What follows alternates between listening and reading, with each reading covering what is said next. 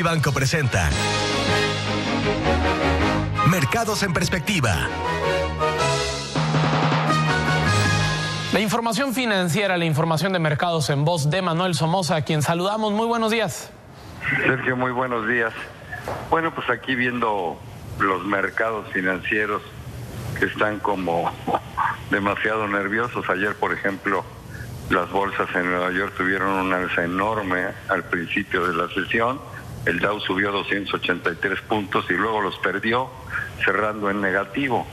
La razón fundamental fue el rumor de que los demócratas y los republicanos no se ponían de acuerdo y esto podía ocasionar un, un, un shutdown, un cierre del mercado del gobierno norteamericano, lo cual pues no le conviene, no le conviene a nadie porque los demócratas no le quieren autorizar más fondos a, a los republicanos. Pero bueno, eso es lo que, lo que tenemos. La buena noticia es que el peso se mantiene sobre los niveles de 18.76 en la apertura, 18.77, toda vez que las esperanzas de que la renegociación del, del Telecam pueda, pueda mantenerse, pueda mantenerse viva y, eventualmente llegar a buen término aunque desde mi punto de vista yo creo que esto se va a lograr si México hace algunas concesiones a las peticiones que han hecho los norteamericanos.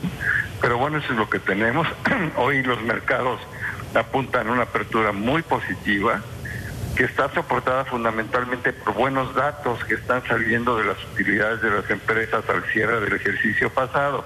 Hoy reporta Banco of America, reportó este Wells Fargo ayer muy bien, en fin, los bancos están reportando muy bien se esperan buenos niveles de utilidades eh, en las utilidades de las empresas, lo que soporta las alzas que ha tenido la bolsa norteamericana. Ese sería mi comentario, Sergio. También dimos a conocer una noticia, una calificadora asiática, una calificadora en específico, China, ha bajado el nivel de calificación de Estados Unidos. ¿Esto también puede impactar en, en el comportamiento de los mercados? No, no, digo la verdad yo no sé qué calificadora sea, pero pero no, eso no tiene ningún impacto en los mercados y yo no lo he leído en ningún lado como, como una noticia seria. Manuel Somoza, le agradecemos mucho este análisis. Que pase buen día. Al contrario, un saludo a toda audiencia. Gracias.